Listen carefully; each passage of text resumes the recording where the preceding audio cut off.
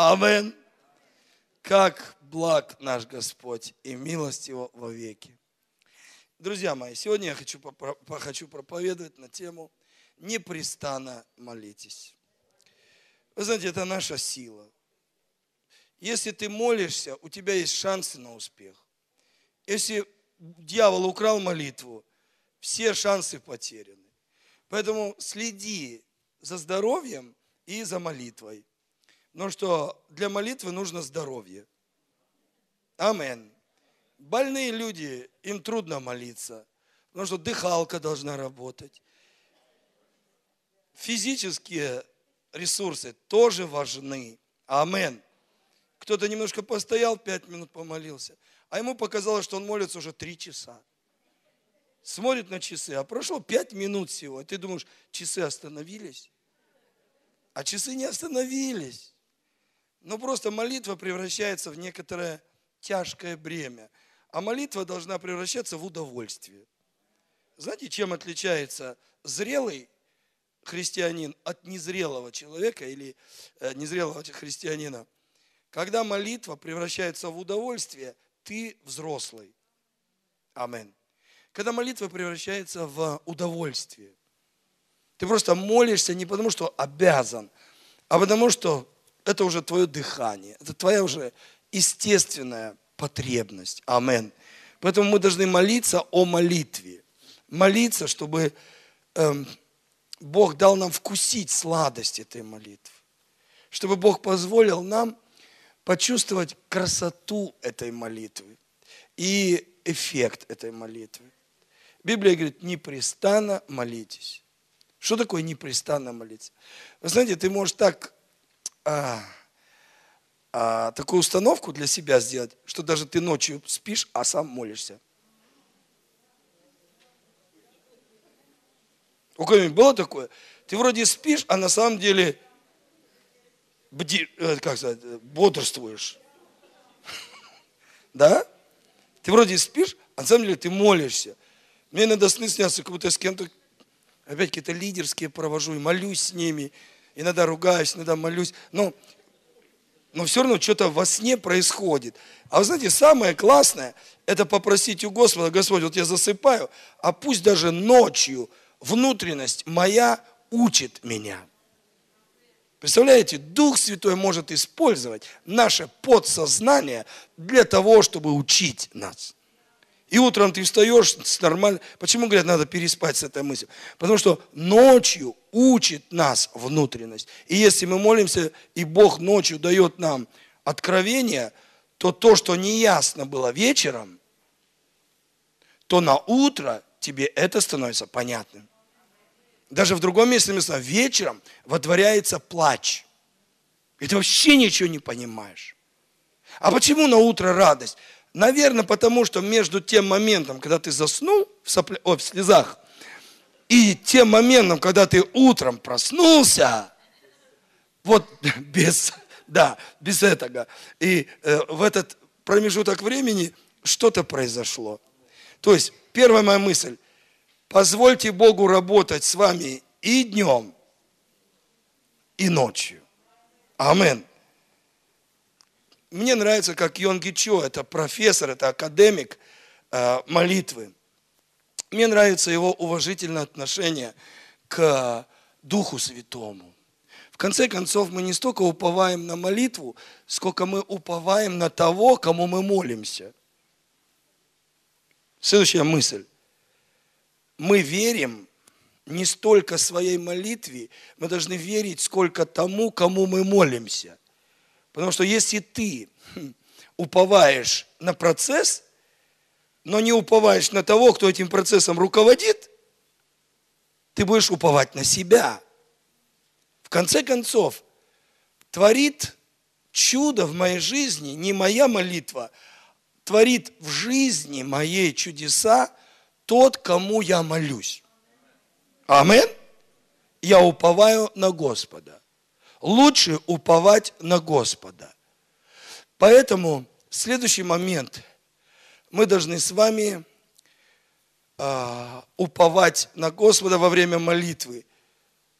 Я понимаю, что это опыт, это сложный опыт. непрестанно молиться. Да это как молиться? Да это, это же ужас. Я думаю, как хорошо, что мы крещены Духом Святым. Представьте, если бы все на своем, это можно было бы чокнуться. Ну, представь, с утра до вечера о чем-то молиться, а? И ты уже и про жену, и про детей, и про Владимира Путина, и про Барака Обаму, и ты уже и про пастора своего, и что еще? А еще непрестанно. А пять минут всего прошло. Ну, представляете, это жесть какая-то, а? И какое мы имеем благословение от Господа, что даже ты включаешь просто молитву на языках, и ты чувствуешь, что вначале вроде трен трен трен трен а потом что-то включается, меняются эмоции, меняется состояние мышления, и ты чувствуешь, что Бог приходит. Бог дал нам прямой телефон. Бог дал нам прямую связь. Минуя даже вот всяких посредников, когда мы молимся на языках, наш дух говорит тайны Богу. Амин. И никто не сможет, молясь на языках, проклясть Господа и, или оскорбить, как Павел пишет, что никто, говорящий на языках, не может сказать хулу на Духа Святого. Я помню, когда я крещение Духа Святым пережил и начал молиться на языках, у меня было много критиков, которые пытались толковать эти мои языки и говорить, что там вот про то он говорит, про то. Вы знаете, это все ерунда. Никто не расшифрует твой язык. Особенно, если ты тайны говоришь, э, э, духом Богу, то ни один хакер, ни один Эдвард Сноуден духовный, он не сможет взломать вот этот сайт и расшифровать. Знаете, он вот об этом говорил Богу. Бог следит за соблюдением гостайны. Амен. Халилюя. Вместо того, чтобы болтать по телефону часами, какой-то соседки, своей подруги, другу, все тайны разложил. Я умоляю, самые главные остались.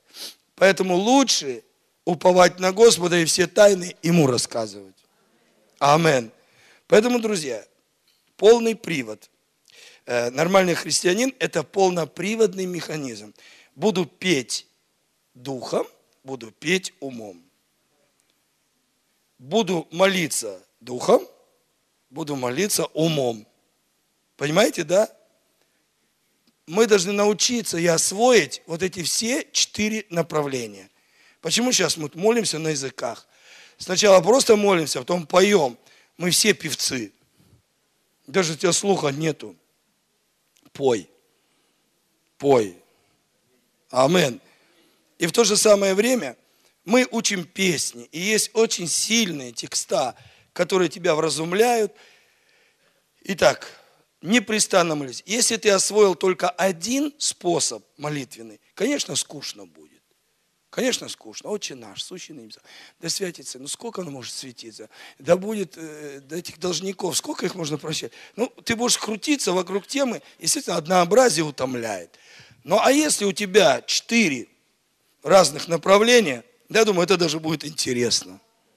Амен. Вы знаете, э, есть еще хороший способ молиться. Это учите наизусть текста Священного Писания. И мне кажется, одна из самых сильнейших молитв, ну, я, я сам по себе сужу, когда я цитирую обетование Божье, Бог бодрствует над Словом, и молитва превращается в огонь. Амен. Когда ты придумываешь свои слова, ну, это тоже как говорится, тоже, тоже молитва. Как два мужика разговаривают, я говорю, какой автомобиль? Цитроен, тоже машина. Ну вот, так и здесь, когда ты придумываешь как бы свою молитву, ну, тоже молитва, и куда-то можно доехать. Но когда ты молишься Словом Божьим, это самая сильная молитва. Амен. Вот как-то мы молились, и на ум мне пришло мое собственное стихотворение, а я стараюсь, когда пишу стихи или какие-то поэмы, знаете, я стараюсь максимально найти аналоги этого произведения в Слове Божьем. И вы знаете, когда э, вот от Слова Божьего проистекает логика, когда от Слова Божьего проистекает рифма, когда от Слова Божьего э, проистекает суть молитвы или произведения, Бог благословляет, и ты чувствуешь энергетику. Есть стандарты, которые у нас складываются, а есть многие вещи, которые, может быть, как-то прошли мимо нашего сознания. Я как-то молился и вспомнил, как это молитва «Научи меня жить». И во время молитвы просто начинаешь цитировать. «Отврати лицо свое, не смотри на беззаконие и грехи мои, строго не суди в день, когда ликуют все мои враги. От лукавого избавь, от искушений и соблазнов сохрани через долину смертной тени. Боже, до конца доведи. Читаешь просто вот, и ты чувствуешь, не надо ничего придумывать. Это молитва. И когда ты эту молитву говоришь раз, эту молитву повторяешь два, ты чувствуешь Дух Святой, Он начинает тебя помазывать. Мы не должны лениться, мы должны в свой молитвенный арсенал упаковывать целыми, целые псалмы. Господь, пастырь мой, я ни в чем не буду нуждаться. Ты покоишь меня на злачных пажитях. Ты водишь меня к водам тихим. Твой жезл и твой посох успокаивают, когда я иду через долину смертной тени. Знаете, вот когда Слово Божье вот здесь, ты даже рассуждаешь об этом. Ты просто берешь это слово и с разных сторон рассматриваешь, э, молишься, медитируешь, рассуждаешь Словом Божьим. Там, где нет Слова Божьего, там молитва превращается в тяжелое бремя. Вот почему молитва и Слово Божье, оно вместе идут. Вместе идут. Помните Деяния апостолов, когда арестовали Петра, то они взмолились и говорят, что метутся язычники, и что народы замышляют тщетно. Там молитва, они просто взяли псалом, просто псалом взяли конкретный, и говорят, давайте молиться.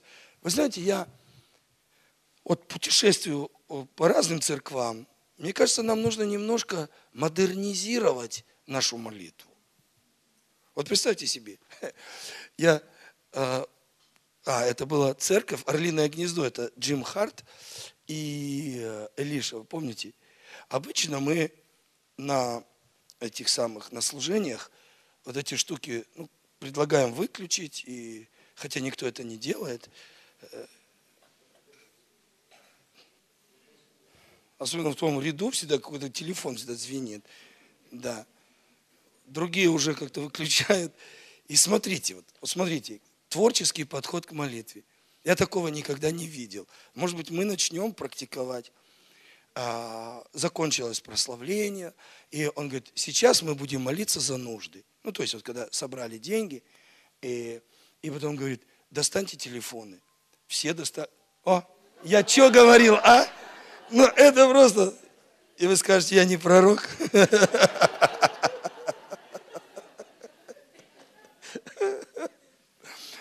И пастор говорит, достаньте телефоны. Достали, говорит. Если у тебя дома или кто-то вот, есть человек, который нуждается, у которого есть проблема, прямо сейчас набери телефон и скажи, что вся церковь прямо вот, вот сейчас будет молиться. И не выключайте. И, и пусть он слышит, как молитва, а, как церковь молится за них. Я это первый раз говорю. Все достают телефоны. Я повернулся, и все набирают телефон. Говорят, слушай, мы тебя посещали. У тебя проблема.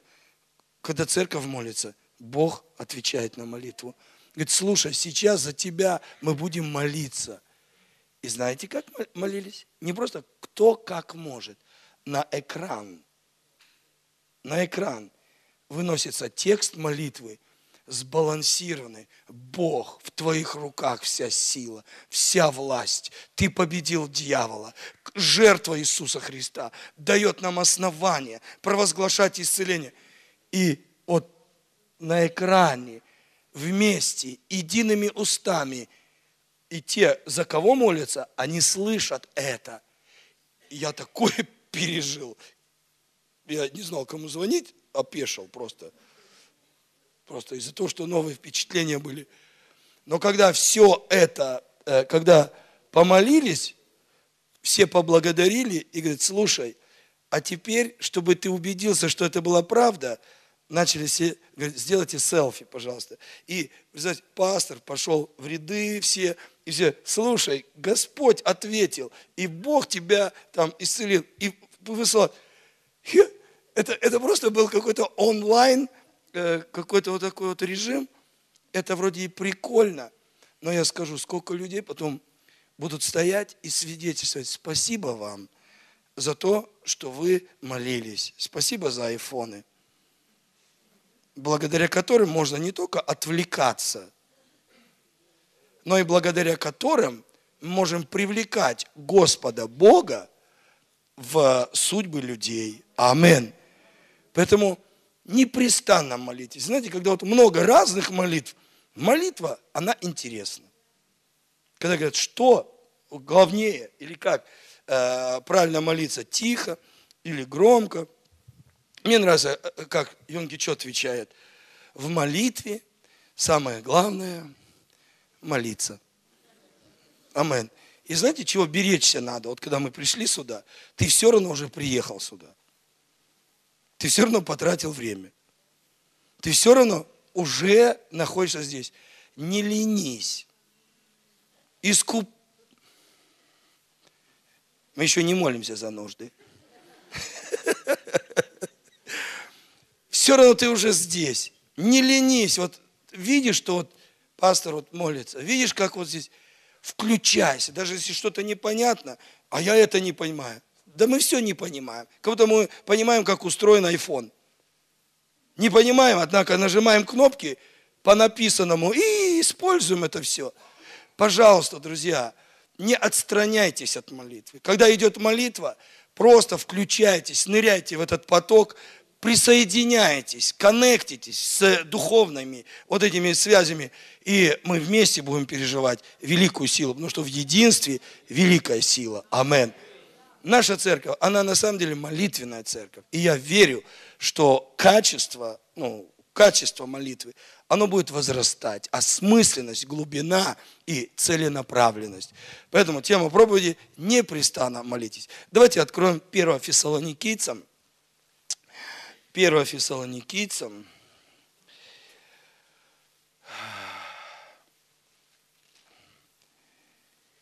Э, пятая глава. Пятая глава. Когда я начинал проповедовать, я обычно это место чаще всего брал за основу. 16 а, стих. 1 Фессалоникийцам, 5 глава, 16 стиха. «Всегда радуйтесь». Меня так раздражает этот стих иногда. А чтобы не раздражал, следующий текст – непрестанно молитесь. Оказывается, это в одной упряжке идет.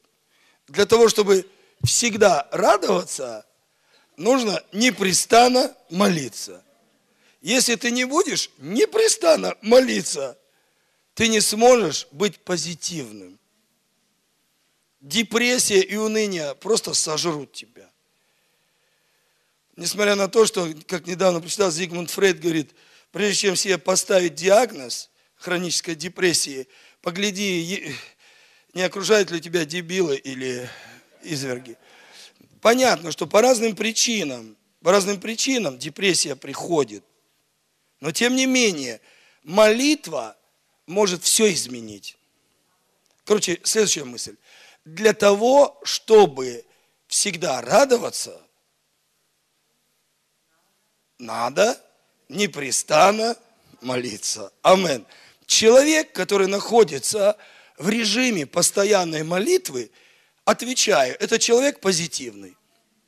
Вот хотим мы этого или не хотим. Религиозные молитвы ослабляют человека. Молюсь, молюсь. До молитвы еще настроение нормальное было. А как молитва закончилась? Ну просто вот, вот как будто все бесы восстали, дьявол мстит. Не дьявол мстит, просто ты не дошел до святилища, не добрался до главного источника твоего настроения, твоей мудрости и силы. Итак, для того, чтобы иметь хорошее настроение, самообладание, позитив, радость. Мы понимаем, что молитва обеспечивает радость. Молитва. Даже когда всегда радуйтесь. Когда это хорошо или плохо, когда один или когда много, когда успех или когда неудача. Вы знаете, на самом деле мы должны следить за тем, чтобы сохранять самообладание и гармонию с собой и гармонию с Богом. Радость. Всегда радуйтесь, непрестанно молитесь. 18 еще один заковыристый текст. За все благодарите. Как можно за все благодарить? Полицейский тебя остановил, оштрафовал. И, и, и, за это благодарить? А? Поздно встал, опоздал. Мы должны себе объяснить, за что благодарить. Знаете, опять же, для того, чтобы разобраться в этих сложных заковырках, если ты будешь непрестанно молиться, ты опаздывать не будешь. Я опоздал, потому что долго молился.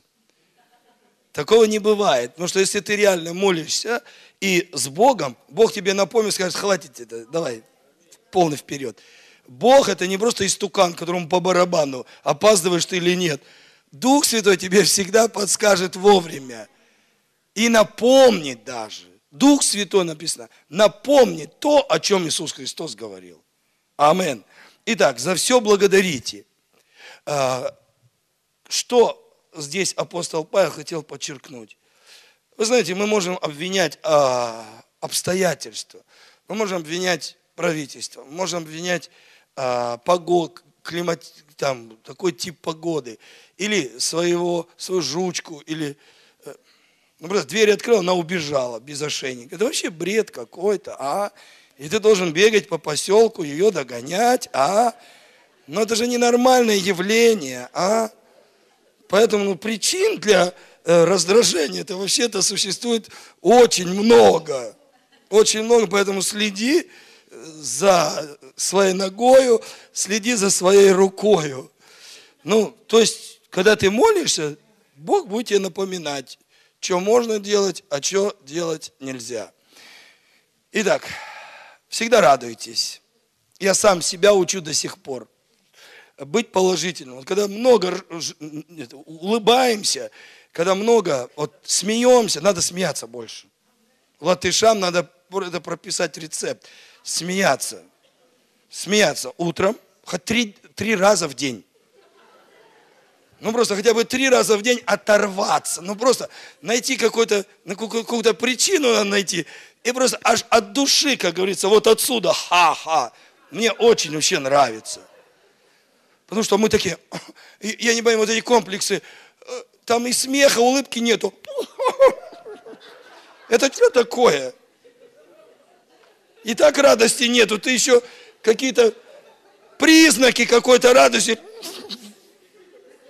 Да не надо, прям наоборот. Вот я к Мадабуке ездил, я сегодня уже рассказывал за столом. А там жара такая, они хитрые эти все африканцы, они же не, не одеваются, как мы.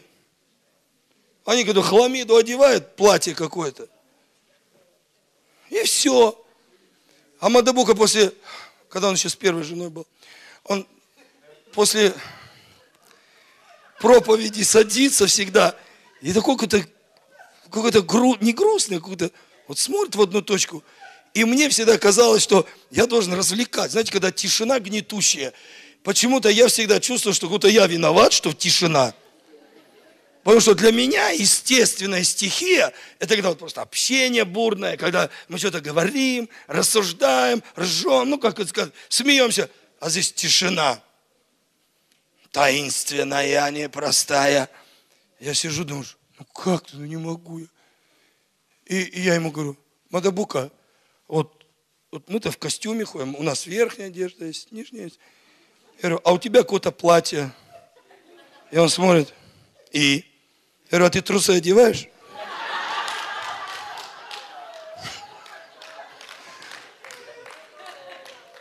Он сначала не... Он просто, может быть, не понял сразу насчет вопроса. И когда он мне повторил вопрос, вы знаете, радость пришла. И вас всех интересует ответ его? А вот когда он в следующий раз приедет,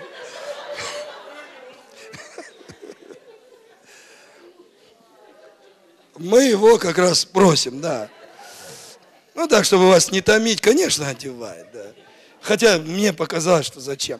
Ну, в общем, вы знаете, мы должны быть простыми, позитивными и всегда радоваться. И всегда радоваться. Я вот даже когда попадаешь в какую-то обстановку, я вот никогда не забуду, это хит сезона прошлого года. Я, я, ну помните, да? Я же такой специалист по Мерседесам. Заправился в Статойле, передо мной была женщина. Говорит, мне, пожалуйста, масло для Мерседеса. Ей дали масло. Она продавщица, говорит, а вы залить можете мне? Он говорит, я только продаю. Говорит, ну хорошо. Взяла эту э, штуку, этот, масло, и вышла. Я тоже отоварился, выхожу, смотрю, женщина сидит перед Мерседесом, перед решеткой.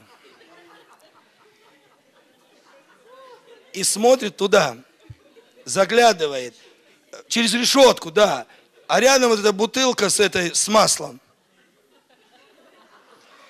Я тихонько прохожу мимо, и она так снизу вверх, говорит, вы помочь могли бы мне? Я говорю, с удовольствием. Ну как? Если женщина просит, ну, я подошел, она говорит, надо залить масло. Я говорю, ну да, надо.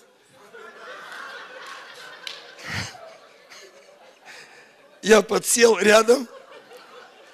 И она говорит, я не знаю, как открыть вот этот капот. Я говорю, ну давай поглядим.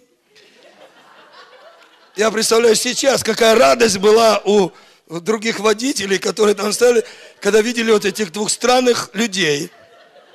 Ну ладно, женщина. Ну, пастор церкви еще стоит. И я гляжу туда же, в эту решетку, и ничего не вижу. А потом вдруг увидел, что оттуда какая-то пластмассовая штучка выглядывает. А говорит, а может вот эту ты взял бы и пошевелил? Вот это. Я говорю, давай. Мне всегда интересно все новенькое такое пробовать. Я взял вот эту э, пластмассовую эту штучку. Она говорит, ну ты поверни туда-сюда.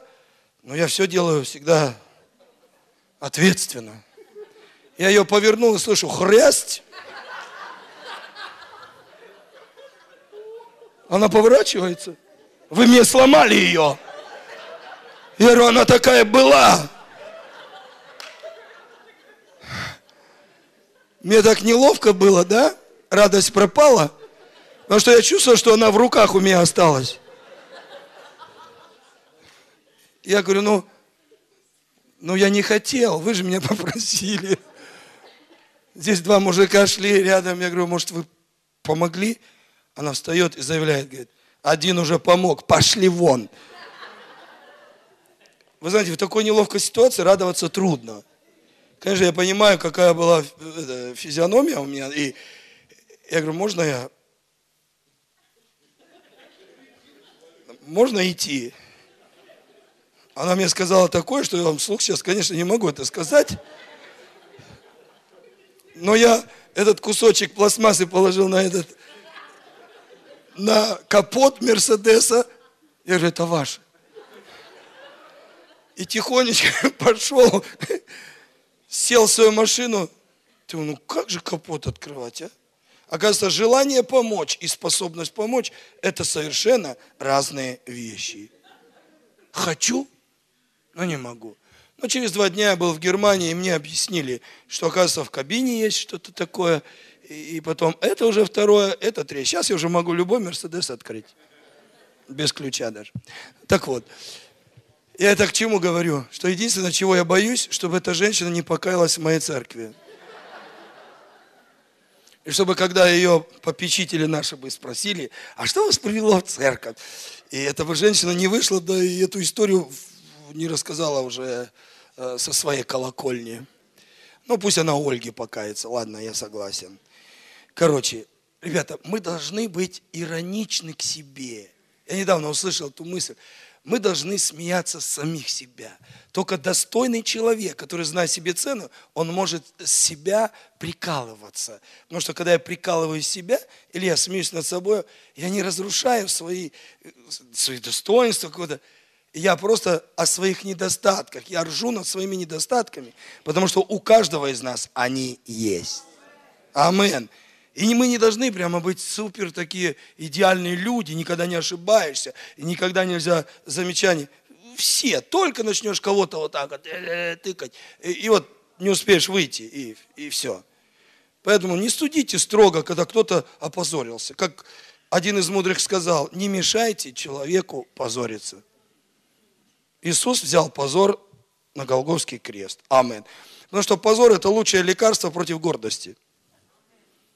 Тот, кто никогда не позорился, это гор, гордый, гордее быть не может.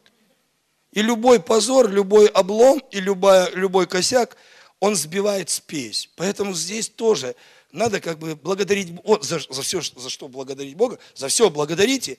Господь, спасибо тебе, что ты научил нас и подниматься, и опускаться, и косяки сшибать. Учимся жить. Учимся жить. Учимся быть простыми, учимся быть позитивными. И вот в этом многообразии мира мы стараемся найти э, уроки жизни. Поэтому говорим, Господь, научи нас так исчислять дни наши, чтобы нам приобрести сердце мудрое. Итак, всегда радуйтесь, непрестанно молитесь, за все благодарите, ибо такова о вас воля Божья – во Христе Иисусе. Понимаете, это сложно для понимания. И мы думаем, что от этого бы, от лучше бы в жизни не произошло. Пройдет немного времени, и мы будем говорить, Господь, спасибо тебе, что это произошло. Потому что без этого не было бы того, третьего, четвертого. Вы знаете, мы не можем видеть полной картины жизни. Один Бог только видит и говорит, за все благодарите. Ибо такова о вас воля Божья – во Христе Иисусе. Потому что, как Иосиф однажды сказал, вы планировали зло, но Бог это зло обратил в добро. Даже если тебе кто-то э, планирует зло, или мне планирует зло, в конце концов, последняя инстанция. И Господь любое зло, которое планировалось в мой адрес, превратит в добро. Вот почему за все благодарите. 40 человек заклялись не есть и не пить, пока не убьют Павла. И Павел благодарит Бога, что на 40 человек в стане врага э, сократилось число. Бог зло обращает в добро.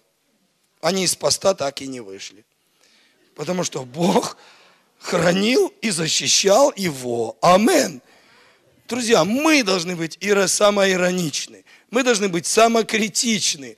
И мы должны быть позитивны. Господи, так много тяжелых людей, так много людей, которые на тебя пытаются вот так навесить свои проблемы. Так хочется встречаться с людьми, у которых нет проблем. Вот есть такие люди, у которых побольше проблем, чем у тебя, но они не собираются это, они не эксгибиционисты. Они не демонстрируют свою боль, свое страдание. Они, а это никого не волнует, это моя личная жизнь. Как помните, та женщина, ребенок у нее умер. Ребенок умер, она его закрыла. Идет с высоко поднятой головой. Она идет по жизни, смеясь. И никто даже не предполагает, какие там беды, какая боль. Как дела? Все четко, все нормально, все классно. Как семья? Нет проблем, все. Ах, вот бы мне такую судьбу. Не обязательно всем рассказывать. Я уже десятки раз говорил, что какой смысл рассказывать, как мудрые говорят, 80% кому ты о своих бедах рассказываешь, им по барабану это. Им абсолютно все. А 20 человек будут еще радоваться. Ну, наконец-то. Так и вопрос, а зачем тогда об этом кому-то что-то говорить, а? есть Бог. Пожалуйста, расскажи ему все.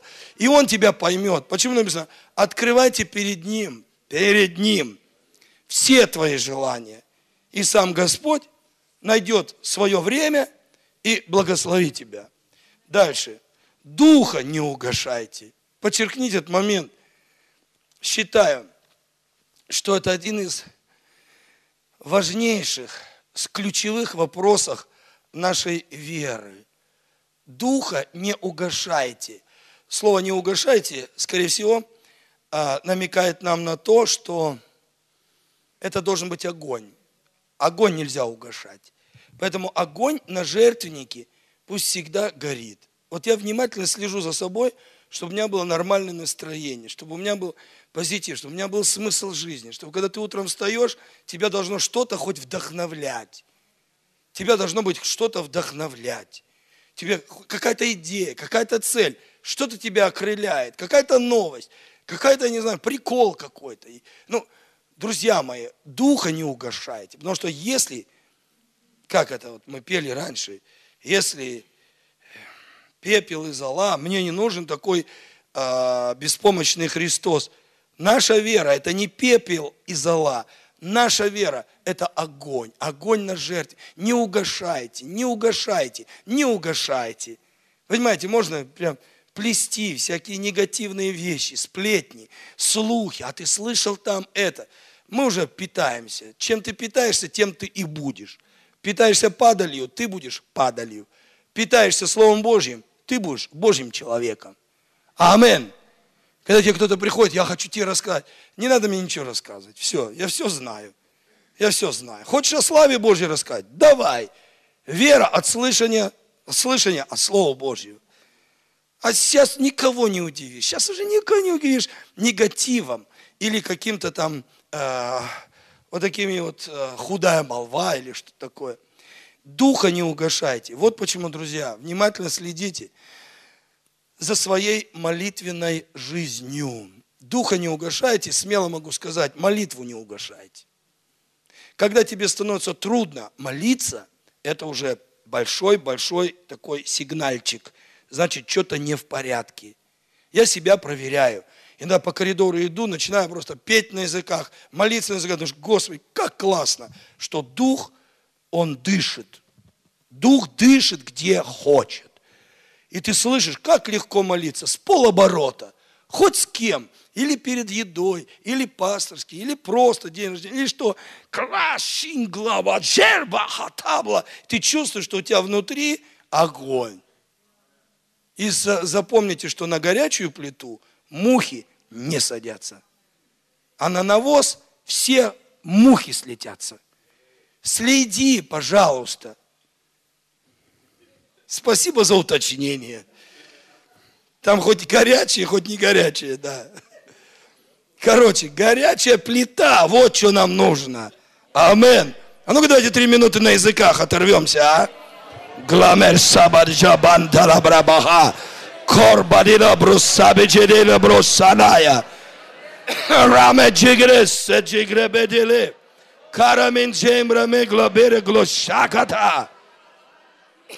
Ramen camerigla merigla jenderi. Kanda be sabure be şanda. Karbererek samenere zanceleri.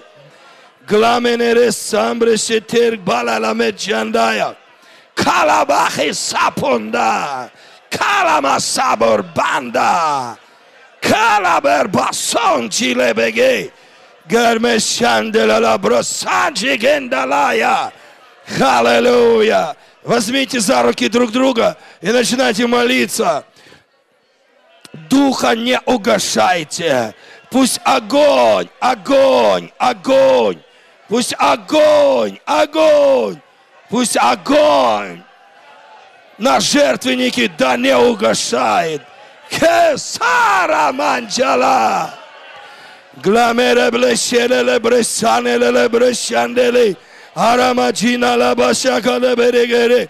Araman çenglamanele. Arbalere grossambe çendele breşedele. Ale breşetala la bogece. Alaman cemenala kunala başinale merisonde. Armenelere gros, amenelere brosherere. Kalamere gleşimere. Haramen çenelem brosamba cerere. Karabasa çanda. Harabaşa katanda. Arama çindale bırakıca. Harmenelek sabe çirenda. Araman cigla meralenda. Arama gunde mekramenda lora beşendarya. Kalalele bresen şerelem baça. Karame jendele. Kalame şendele. Arama şendele. Bomba keşendele. Karmanilan çelember meşende. Carmen Chalabro şendele. Hallelujah.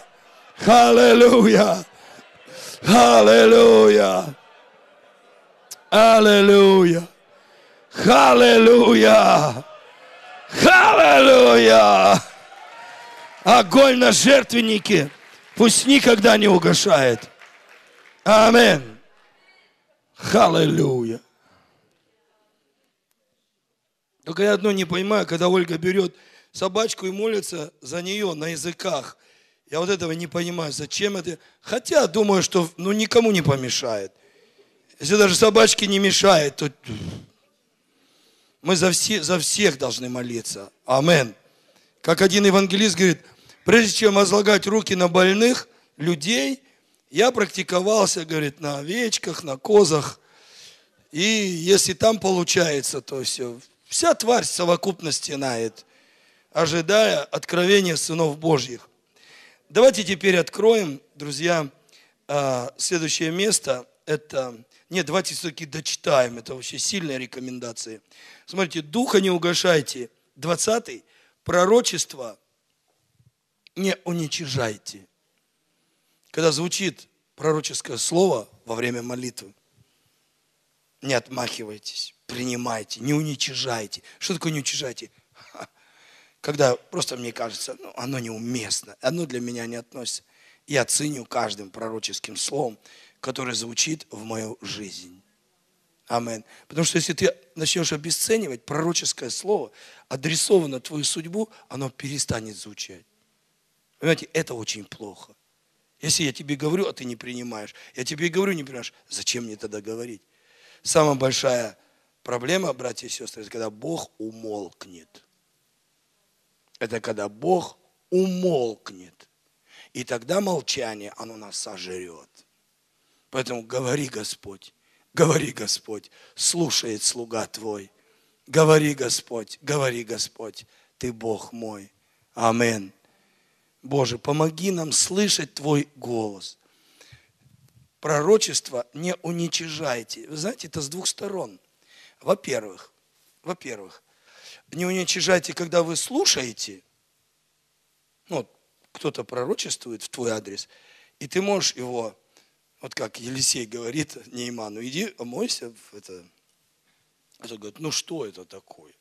Еще не хватало.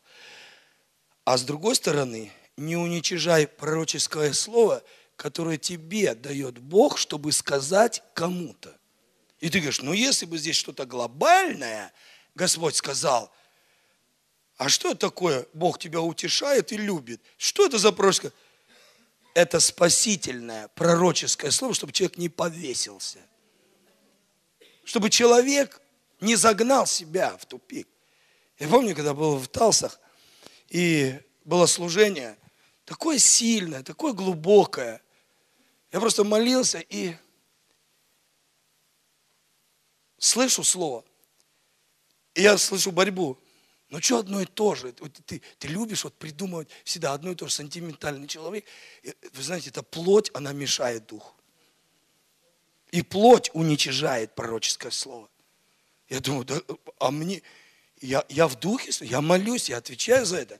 Я говорю, здесь есть люди, которые разочаровались вообще во всех окружающих. Твоя любовь потерпела кризис и фиаско. Но Бог сегодня тебе говорит, что если даже мать забудет грудное дитя свое, чтобы пожалеть плод чрева, то Бог обращается к тебе как своей возлюбленной дочери. Я это говорю, и вдруг одна женщина как вскрикнет. как начала рыдать, она подошла, я говорю, иди сюда. Она же вот так. Она говорит, я ждала этого. Я начинаю рассказывать. Откуда мы знаем, что в людях? Мы определяем калибр пророческого слова, значимость, актуальность. Я вообще, я, я посредник. Вот, как говорится, за что купил, за то продал. То есть, вот услышал, поймите иногда, самые простые пророческие вещи, они спасают человека. Потому что мы все разные. То, что тебя волнует, меня не волнует. И то, что меня волнует, тебя не волнует. Почему под себя надо всех строить? Поэтому духа не угошайте и пророчество не уничижайте. Вы знаете, как важно во время молитвы слышать пророческое слово, потому что это обратная связь. Когда ты молишься Богу, ты свою информацию посылаешь к престолу Божьему. И вопрос, тебя интересует обратная связь? А, а тебя интересует эхо, ответ, как Бог отреагировал? Знаете, если мы в молитве будем ждать, не только говорить, говорить, говорить, говорить, а если мы задали вопрос и говорим, слушаю, слуга твой, говори, Господь. Я включаю антенны, я хочу слышать голос твой. Сначала тишина, сначала просто чистый экран – просто тишина. И вдруг на этом экране появляется какая-то картинка, появляется идея, мысль. Вы знаете, этот опыт нужно развивать. Говори, Господи, говори, Господи, я хочу слышать. Почему Павел говорит, что на языках молиться круто, но тот, кто пророчествует, он превосходнее того, кто молится на языках. А я желаю, чтобы все вы пророчествовали. Это здесь а представьте себе, когда, когда ты будешь в офисе, когда ты будешь где-то на остановке, когда ты будешь на стоянке, и Бог тебе скажет, иди подойди к этому человеку и скажи ему слово. И выздоровеет слуга, и она выздоровеет, и все. Нам необходимо, друзья, не только в одни ворота молиться. Нам нужно научиться слушать голос Божий. Господи, научи меня, во-первых, духа не угошать, а во-вторых, пророчество не уничижать. Господь, говори, потому что в этом слове, в этом слове есть исцеление и сила. 21. Все испытывайте и хорошего держитесь. Мне это место очень нравится – Потому что оно дает мне э, пространство для маневров. Вот это 21 стих. Дает пространство для маневров. Всего испытывайте. Пророчествуй. Вдруг не то сказал. Ничего страшного. Испытывай. Вот это не говори больше. А в другой раз сказал, оно панкс и попал. Снайперов не существует. Вы со мной? Иногда бывает. Я вот помню одну пару сочитывал и говорил, все, так говорит Господь. А мне так хотелось им что-то хорошего сказать такое. Я на них руки полагаю, говорю, вы будете как хантеры, вы будете как хантеры, исцелять будете, и все такие, они через месяц разошлись. И меня спрашивает Ольга, ну и как? Я говорю, хантеры, это значит, они охотники, они где-то И ханты разошлись. Нет, ну я желал хорошего, ну, ну даже если они разошлись, а другие же не разошлись. Я вот сочитывал Максима Максимова. Не разошелся? Я сочитывал Андрея Тищенко с его женой. Не разошелся? Не разошелся? А? А, ну, ну да, по хантерам что-то не сошлось. Но в целом я считаю, что но все равно, когда ты желаешь благословения, ты просишь. И к чему это говорю? Если даже что-то не получается по твоим прогнозам, ну не надо панику э, поднимать и говорить, как это, больше молиться не буду. Все в порядке. Ты скольким людям проповедуешь, из десяти два человека каются, и что теперь? Сколько самолетов разбивается? Что, люди перестали летать на самолетах? два дня сенсация держится, опять билеты, опять садятся и опять пристегнитесь там, 10 тысяч внизу. Как-то быстро все это пролетает. Амен. Поэтому всего испытывайте. И хорошего держитесь. Амен. Мы пробуем, мы испытываем. Поэтому, как сказать, маневры могут быть. И мы выбираем самые лучшие э, методы нашей работы. 22. Удерживайтесь от всякого рода зла. Вот здесь нужно, братья и сестры, здесь настолько такие инструкции жизненные, практические. Если ты занимаешься духовной работой, если ты с Богом в серьезных взаимоотношениях, запомни, что у Бога не водворится злой. Зло – это осмысленный вред, который ты наносишь ближнему своему. Зло – это осмысленный вред, который ты наносишь ближнему своему. Или ты осмысленно наносишь вред Царству Божьему. Когда мы читаем в Библии, что лукавый и ленивый раб, в другом месте написано, злой раб, тебе было прощено 10 тысяч талантов. А ты нашел человека, который тебе должен 16 долларов с половиной, и ты взял его и душил. Не душите никого. Не лучше ли остаться обиженным? Удерживайтесь от всякого рода зла. Братья и сестры, мы призваны не к тому, чтобы распространять зло. Мы призваны, чтобы распространять добро. Мы должны побеждать зло добром.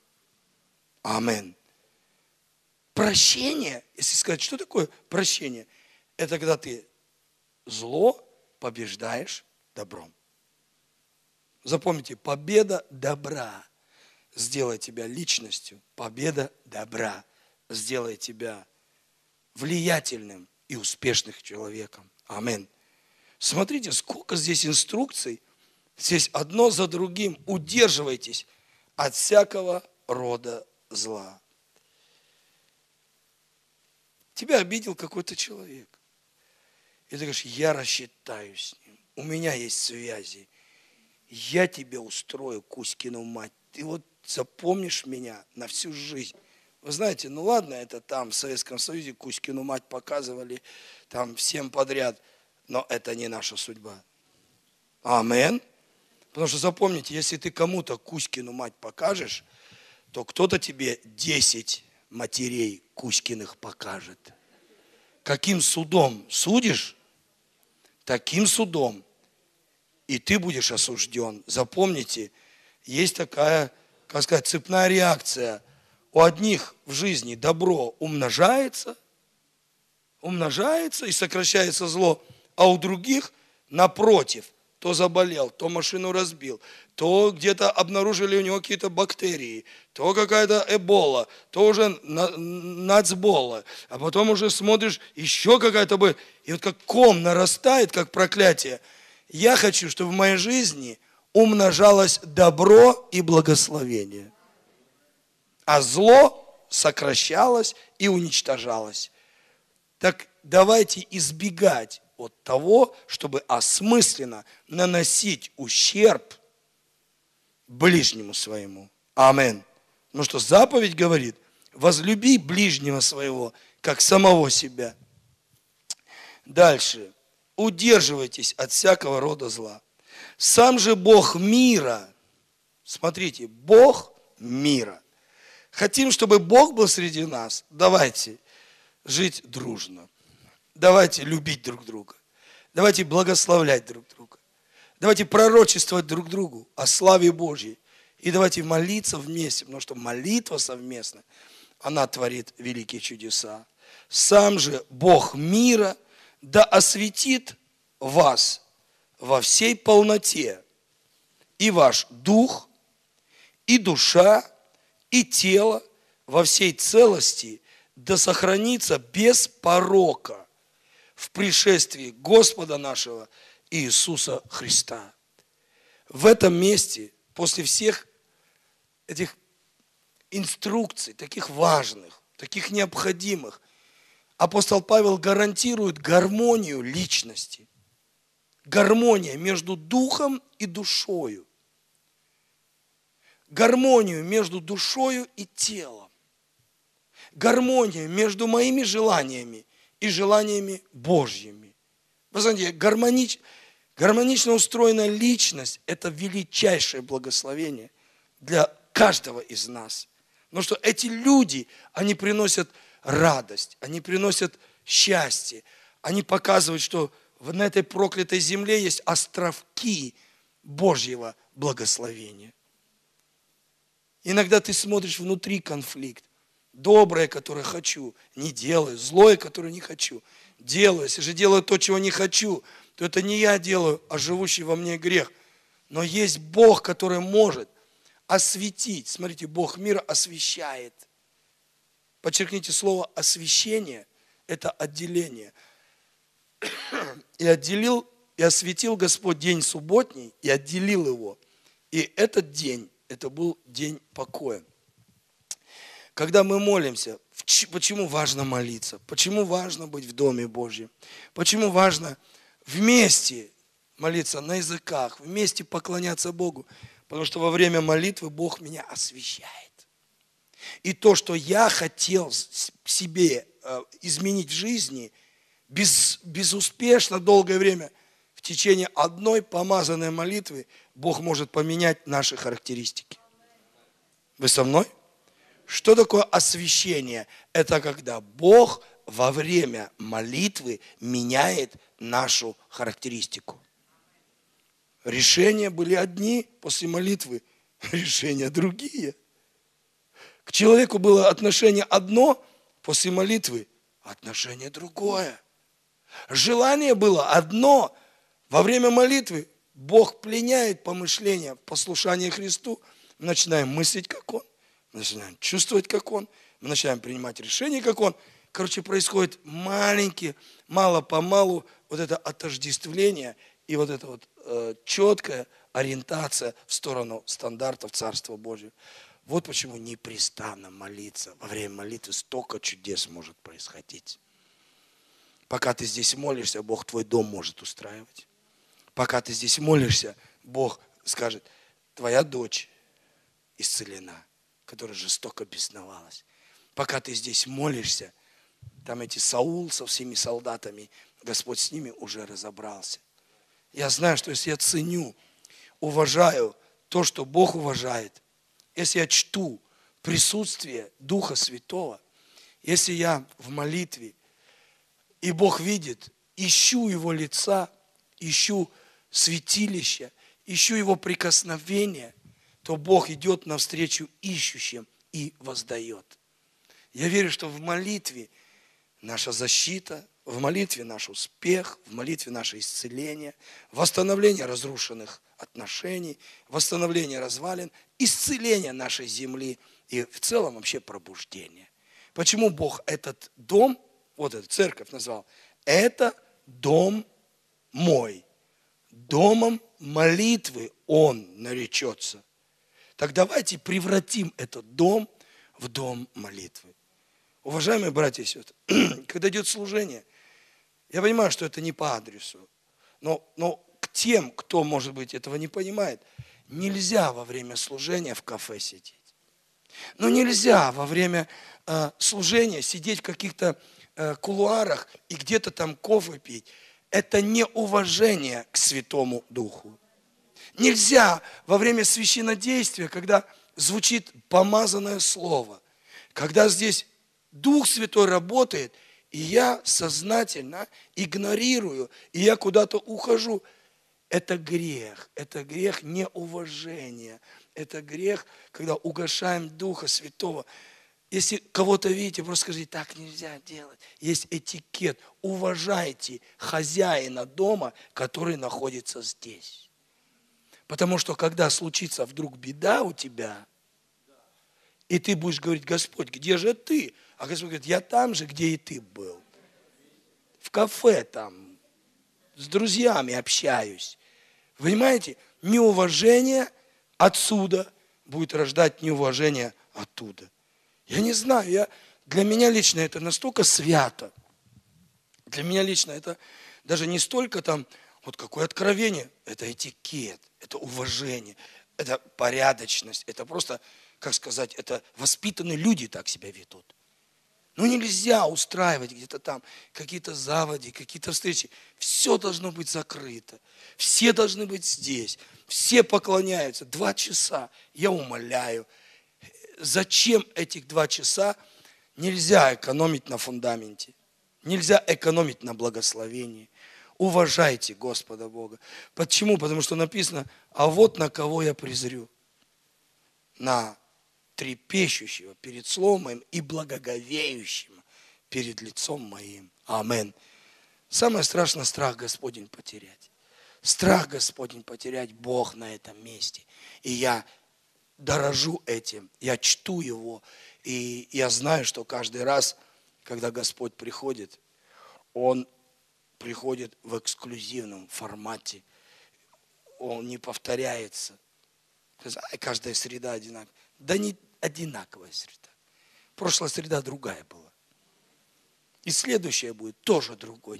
Независимо от того, что здесь происходит, Бог каждый день творит все новое. Я знаю, что когда Он видит благоговение, когда Он видит жажду, когда Он видит дух Бога искания, да Он идет навстречу. Да Он этого хочет больше, чем ты и я вместе взятые. Только Он удивляется, как, как можно так жить и болезни, и нищета, и социальная ограниченность, и политическая и они еще не чтут меня. Я вообще не понимаю. У меня ответы на все их вопросы, и они просто при... Придите ко мне, все труждающиеся и обремененные, и я успокою вас. Но они сказали, не пойдем. Вот так человек устроен.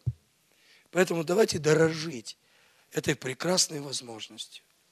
Давайте дорожить вот этим божественным присутствием. Давайте сейчас еще раз пройдемся по всем стихам. И, пожалуйста, отметьте себе эти принципы, принципы стабильной, глубокой, организованной молитвенной жизни. Итак, тезис первый. Всегда радуйтесь. Тезис второй. Непрестанно молитесь. Номер третий. За все благодарите, ибо такова о вас воля Божья. Четвертый. Духа не угошайте. Пятое. Пророчество не уничижайте. Шестое. Все испытывайте. Хорошего держитесь. Седьмое. Удерживайтесь от всякого рода зла. Семь рецептов нормальной, духовной, христианской жизни. Возьмите, отметьте семь рецептов стабильной и глубокой молитвенной жизни. Семь рецептов нормальной, здоровой христианской жизни, которые касаются и духа, и души, и тела. Пусть Дух Святой углубит наши представления и э, об, этих, об этой истине. И дальше сам Господь Бог, Он хочет создать на основании, если мы этих семь пунктов будем держать перед собой, если мы будем эти семь пунктов э, взять на вооружение, возьмем на вооружение, и каждый раз будем говорить, да, я должен быть позитивным. Я должен все испытывать. Молитва, я не должен ее угошать. Я не должен уничижать пророчество. Благодарю за все. Любой опыт Господь дает мне для блага. Вы знаете, просто вот по всем семи пунктам вот так вот прошел, и ты чувствуешь, что это баланс, стабильность, защищенность. Это, это э, полноценное евангельское учение – и гарантирует Господь, что Он осветит нас и обеспечит гармонию и дух, и душа, и тело. Сохранится без всякого порока в пришествии Господа Иисуса Христа. В заключение мы говорим не только о мимолетном настроении. В конце концов, Христос скоро придет. И вопрос, в каком состоянии мы его будем встречать. Эта тема у нас вообще пока где-то там на дальней полке, но мы должны чаще говорить, скоро Христос придет. И мы должны быть готовыми, когда Он придет, чтобы Он этот день не застал нас спящими или там еще каким-то в каком состоянии. 24. Верен призывающий вас, который и сотворит сие. Давайте поблагодарим Господа, что все, о чем мы просим, все, о чем мы мечтаем, все, о чем мы молимся, верен призывающий вас, который и сотворит все это. Амин. Давайте сейчас помолимся. Кирма хацам боле герика сучи. Тера миндроса бер тел марила ланда. Almanela brebajiba algubedir gusora bedingra saria. Alamendla makobechit. Kalamena la lebresame jomba. Glorma hasinjerma. Alamasera megimanale. Alamesheng alme shimalale. Kalimare sumala besuma. Armenare sumanere samenare manimalabore. Avenare sumala. Alamasora miraman. Arimanesma. Arimani garovine shima. Alamasana nera sorima. Arimasorima. Alemanara sorima. Alamira sotima.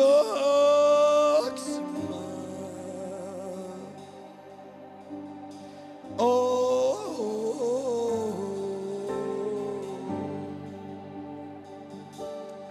Alamre samen diabla begutelele bre samen ale grosima ne grebele gra. Aramena la guru samene la greble shereri. Albele la guru simene la gre sabeje glabere la greble geri. Armani la gru samene la gru sabeje la gere. Arbele la gru sabeje glabere. Ala mere concha mena la grama semene la renda. armani la la gru samene la la grusenda, Aramena la la gru samene la la gresenda. Ala mena le examena le. Kale me samene le grossa mena. Alamenele rasamengenda Arbe sobe naro mensara menge Kale mare sora mesa menula la merere Аллилуйя, blessed Jesus. Давайте вместе помолимся. Скажи, Отец, во имя Иисуса, я благодарю Тебя за Твое Слово. Я прошу Тебя, пусть огонь на моем жертвеннике никогда не угасает. Пусть моя молитва никогда не умолкнет. Дай мне раскусить секрет успешной молитвы. Драгоценный Дух Святой, я прошу Тебя, научи меня слышать пророческое слово – Научи меня видеть пророческие видения. Пусть духовный мир во время молитвы станет для меня реальностью. Научи меня молиться. Научи меня двигаться в духовном мире. Научи преодолевать всякую лень. Я хочу всегда радоваться, непрестанно молиться – за все благодарить, всего испытывать. Прости меня за то, что так часто я угошал Святого Духа. Я прошу Тебя, дай мне мужество и силы повиноваться и идти этими путями. Благодарю Тебя за то, что Ты благословляешь мою жизнь, устраиваешь ее и благословляешь. Пусть Твое имя возвеличится, и пусть Твое имя прославится через мои плоды, через мои достижения и через мои победы. Я прошу Тебя об этом во имя Иисуса Христа. Амин. Амин. Халилуя. Амин.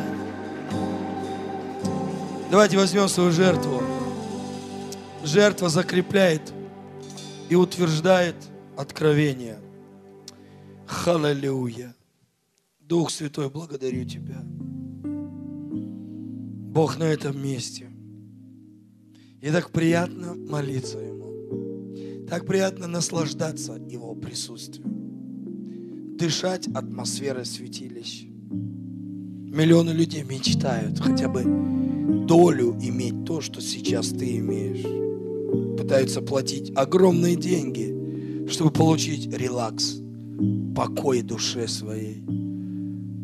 А ты сегодня здесь находишься. Бог заплатил эту цену через жертву Иисуса. Возьми сейчас свою жертву как благодарность, как семя грядущих успехов, достижений и побед. Пусть молитвенная жизнь усилится, пусть молитвенная жизнь распространится, пусть наш калибр станет больше. Подними свою жертву. Давайте помолимся вместе. Скажи, благодарю Тебя, Отец, за жертву Иисуса Христа. И пусть в этот вечер моя жертва будет приятна Тебе. Пусть Твое имя возвеличится в моей судьбе и в моей жизни. Благодарю Тебя за то, что Ты предназначил меня не к проклятию, а к благословению. Я буду видеть чудеса. Я буду ходить во свете. Я буду ходить во славе Твоей. И этот год не будет временем потерь. Этот год будет временем великих приобретений. И за годы, в которые пожирала саранча, дьявол вернет в семь раз. Благодарю Тебя, Отец, за Твои обетования, за то, что они остаются в силе. Люблю Тебя, благословляю Тебя. И прими эту жертву. Да будет она благоугодна Тебе. Во имя Иисуса Христа. Амин. Амин, амин, амин. Пожалуйста, пустите ведра по залу. Хочу напомнить, друзья, что в пятницу у нас будет авторский вечер, и мы это используем для евангелизма. Я думаю, у каждого из нас есть родные и близкие, неспасенные люди, э, думаю, которым было бы очень полезно присутствовать на этом э, вечере. Э, кто хоть раз был на таких вечерах, тот может смело сказать, что это откровенный разговор о главном и по существу. Этот вечер будет называться а, «Вера, движимая любовью». Я буду говорить о любви Божьей. То, в чем нуждается абсолютно каждый. О восстановлении достоинства и личности человека, мужчин и женщин. На этом вечере будут звучать свидетельства, как Бог поднимал, из каких глубин – Здесь будет экран, и мы покажем несколько э, отрывков из программы «Смотрите в оба». Помните, на стыке двух эпох, когда женщину хотели побить камнями, и Бог ее помиловал. Здесь будут э, выступления музыкантов и откровенный разговор о Божьей любви, о милости. Я думаю, что это будет прекрасная возможность познакомиться неверующим или не спасенным, родным, друзьям и близким и с церковью, и самим Господом. Это вечера уникальные. Поэтому, пожалуйста, отреагируйте. Если кто-то еще не взял э, этих, э, эти приглаш... пригласительные, возьмите, пожалуйста, и давайте в, этот, э, э, в эту пятницу приведем сюда своих родных, своих близких, чтобы они пережили то, что э, мы с вами переживаем во Христе Иисусе.